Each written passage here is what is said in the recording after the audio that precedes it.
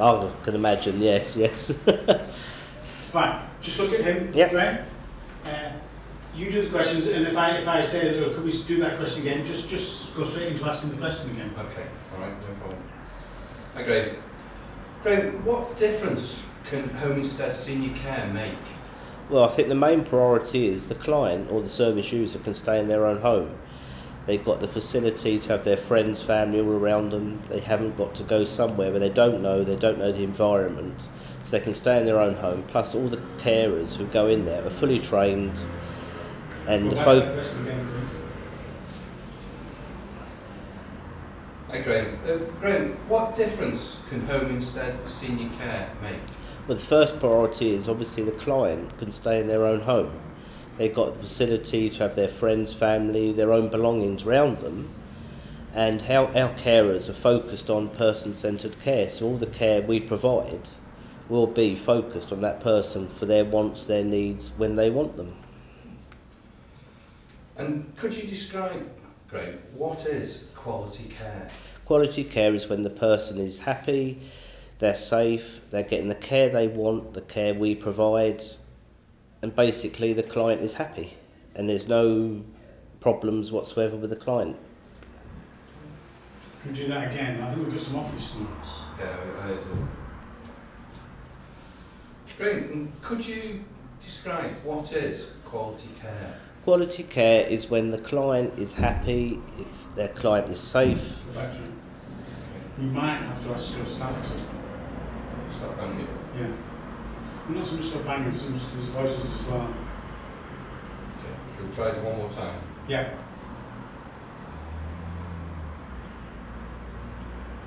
Graham, could you describe what is quality care? Well, quality care is what Home Instead provides. It's when the client is happy, the client is safe, and all the staff are fully trained to the highest standards. So obviously, the, the time we're with the client, they're 100% safe, and the care they provide is going to be quality. And it's getting there on time.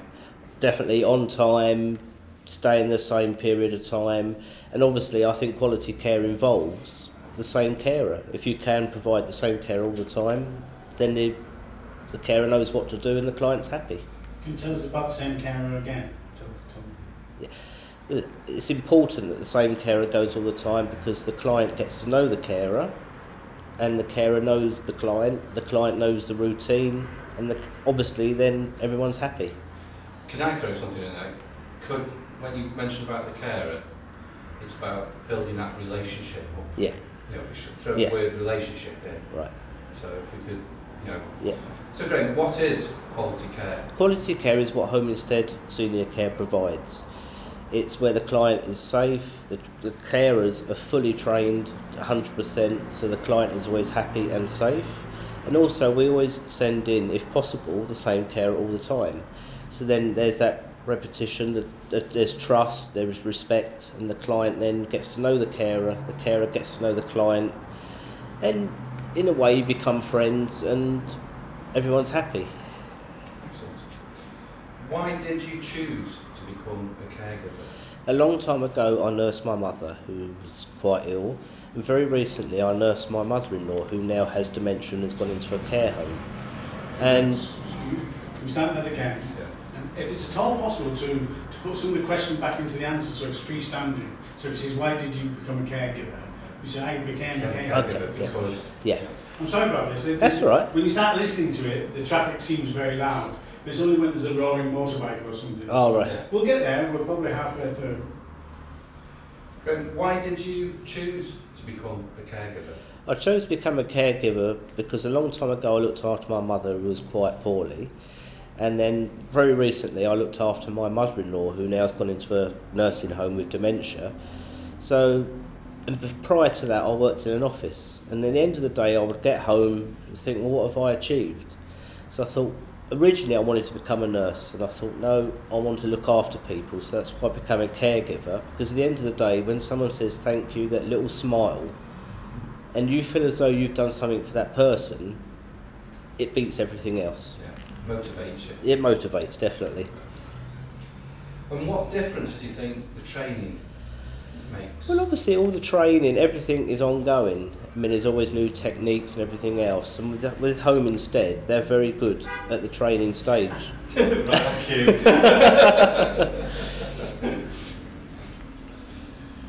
and Graham, what difference do you think does the training make? Well, obviously, the training makes a, a better carer. Uh, there's always new techniques coming on board, there's new methods of doing things, and with Home Instead, you're always 100% trained up. All the new techniques are covered, and plus, it's an ongoing training situation.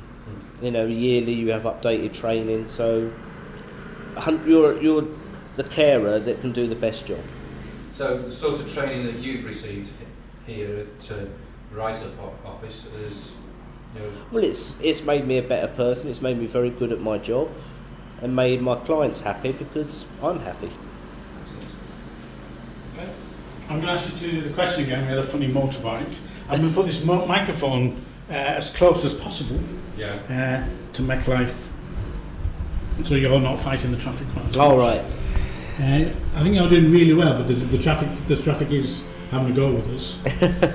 I know. It doesn't matter for most things, does it? Oops, there we go. Get that a bit nearer without being in shots.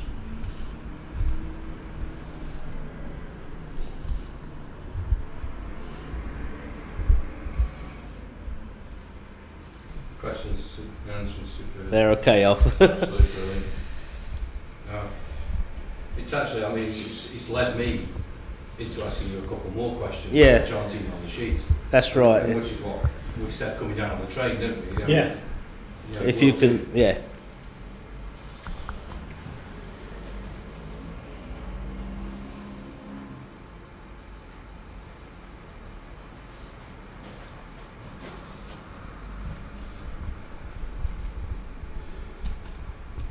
It's daunting, isn't it, having that bit. I know. In lots of ways, it's much less threatening having the lapel mics. Yes. It's forgotten about. Yeah, we need to uh, get some of the lapel mics. Oh yeah, yeah. Then just put them on. Yeah. Yeah. Right, that's as near as I get. It probably is nearer. Right. Let's do the last question again. Okay, and then we'll go for it. Yeah. Okay. Ben, what difference does your training make? The training makes obviously a better carer.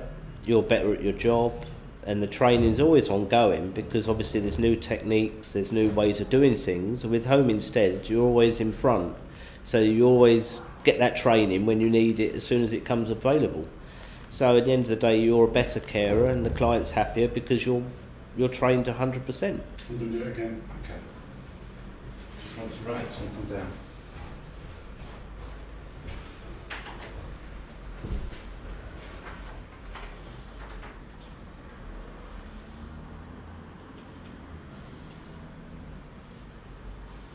Oh, that's all right then. Ask that last question again. Let's go from the top. You go from the top. Yeah, all of oh, them. Oh, Yeah. Okay. Are we? Because I've made quite a few adjustments. Is- Yeah. Is this it though? I'll go with it. Okay, all right. Morning, Graham. Graham, what difference can Home Instead Senior Care make? Well, obviously, to the client, the, f- the main thing is they can stay in their own home. They've got the facility to have their own belongings around them, their own friends, their family. Plus, as well, a home instead carer is trained to do person centred care. So, all the care will be focused on the client or the service user, and you can do what they want when they want it. And basically, they're, they're more independent, they've got an independent life. And what do you think what would happen if you didn't go? Well, I think they'd miss us. obviously, if we weren't about, obviously they'd have to maybe, possibly go into a care home.